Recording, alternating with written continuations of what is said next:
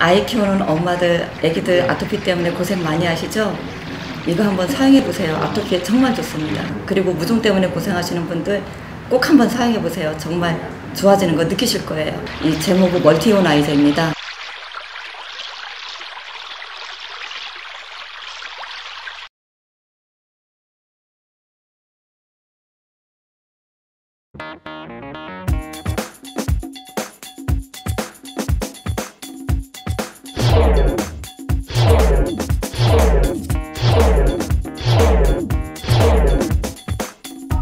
교육 구성원들의 다친 마음을 열어 갈등을 해결할 수 있는 이러한 사람이 교육감이 되어야 한다고 할 수 있습니다. 저는 충북교육이 공정한 경쟁과 교육복지 균형을 추구하는 교육 정의주의 입장에서 바라봐야 한다고 봅니다. 공정한 경쟁을 보장하면서 잠재 능력을 충분히 발휘할 수 있도록 교육 소외계층에게는 교육복지를 통해 경쟁에 함께 참여할 수 있도록 해야 합니다. 교육은 학생들의 자아실현을 돕는 활동입니다. 교육은 학생들의 성장만 생각하고 학생들만 바라봐야 합니다. 교육감은 개인의 명예라든가 권력을 위해 존재하면 안 됩니다. 특정 집단의 이익을 대변해서도 안 됩니다. 또 이념 편향적이어서도 안 됩니다. 아, 지금 현재 충북교육은 아, 진보주의 교육 이념에 경도되고 학생들의 학력이 상당히 하향 평준화되고 있다는 점입니다. 또 하나는 교원들의 인사 전횡으로 인해서 교직원들의 사기가 땅에 떨어졌다고 볼 수 있습니다. 네, 엊그제 도쿄올림픽이 끝났습니다. 여기에서 우리나라를 대표하는 선수 중에 유독 눈에 띈 선수들이 있습니다. 아, 수영의 황선우 선수, 그리고 탁구의 신유빈 선수, 네, 그리고 양궁의 김재덕 선수입니다.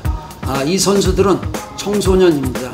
그리고 지금 고등학교를 재학 중이거나 에, 그리고 이제 신유빈 선수 같은 경우는 에, 어린 나이에도 실업팀에 가 있습니다.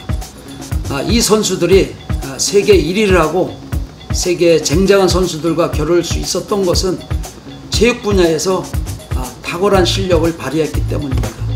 그러기에 에, 앞으로의 미래 인재는 각자의 분야에서 탁월한 실력을 갖춘 인재를 양성한다면 충북의 인재가 아, 노벨상을 받지 못할 이유가 없다고 저는 생각합니다.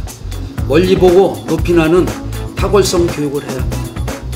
앞으로 미래의 충북 교육은 창의성과 자기주성을 가지고 따뜻한 품성과 함께 멀리 보고 높이 나는 탁월성 교육이 충북 교육의 비례 교육이라고 생각합니다. 만약 제가 출마를 한다는 전자의 말씀을 드리면 저는 반 김병우라는 프레임 자체가 마음에 들지 않습니다. 잘못되었다고 생각합니다. 저는 교육감은 누가 되든지 충북 교육을 한 단계 성장시킬 수 있는 사람이 되어야 한다고 생각합니다. 그것이 현 김병호 교육감이면 어떻고 다른 사람이면 어떻습니까? 저는 충북 교육의 충북 교육의 발전만 생각합니다.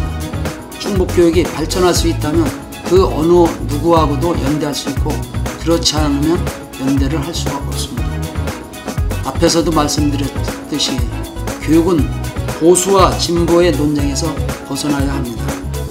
반드시 차기 교육감은 자신의 명예라든가 권력, 특정 집단의 이익만을 생각하는 사람이 되어서는 안 된다는 것이 저의 소신이고 의견입니다.